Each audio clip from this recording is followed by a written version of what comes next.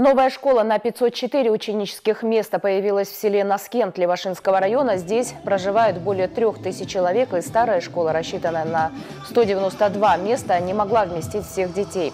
Кроме того, она не отвечала необходимым требованиям для комфортного обучения. Строительство новое было начато в 2011 году по федеральной программе «Устойчивое развитие сельских территорий». В ней старшие классы будут заниматься в одну смену, начальные – в две. В скором времени в селе планируется открытие новой новой современной поликлиники.